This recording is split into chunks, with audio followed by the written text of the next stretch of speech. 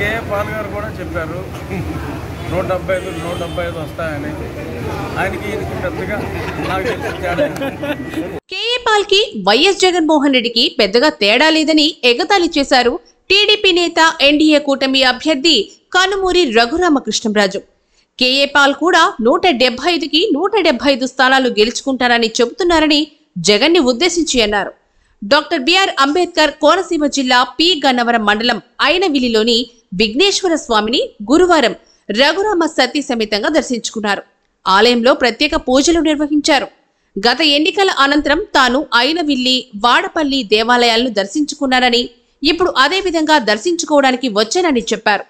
చంద్రబాబు ముఖ్యమంత్రి కాబోతున్నారని మరి కొద్ది రోజుల్లోనే మళ్ళీ అయినవిల్లి వాడపల్లి దేవాలయాలను దర్శించుకోవడానికి వస్తానని రఘురామ ఆశాభావం వ్యక్తం చేశారు.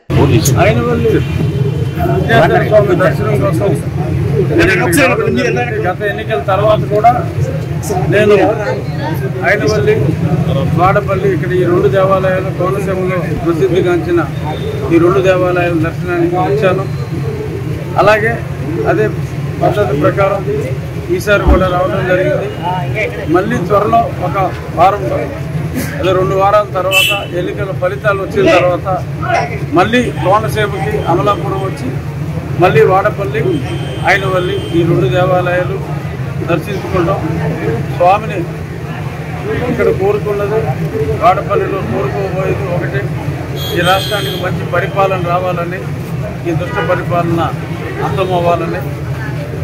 ఆ కోరిక తప్పకుండా నెరవేరుతుంది. అత్యధిక స్థానాలతో చంద్రబాబు నాయుడు గారు ముఖ్యమంత్రి కాబోతున్నారు.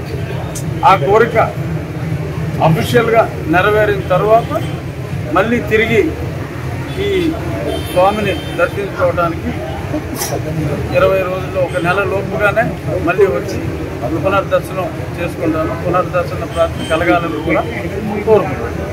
కే పాల్ గారు కూడా చెప్పారు. నూట డెబ్బై ఐదు నూట డెబ్బై ఐదు వస్తాయని.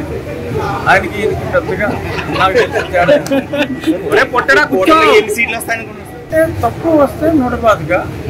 మరి ఆ తర్వాత మొన్న జరిగిన ఎన్నికల ట్రెండ్ ఆ ప్రజా స్పందన రాత్రి పదైనా పదకొండు అయినా వారి ఓపిక చూస్తే ఇంకా ఇంకా పెరిగే అవకాశాలు అయితే ఉన్నాయి. కనీసం అయితే నూట పాతిక స్థానానికి తక్కువగా. రాష్ట్రంలో పరిస్థితి రామకృష్ణారెడ్డి గారు మరి అన్ని దారుణాలు చేస్తే కూడా ఎన్నికల రిగ్గింగ్ అరికడటానికి రామకృష్ణారెడ్డి వెళ్తే ఇన్ని కేసులు అని చెప్పి సాక్షులు వాపోయారు.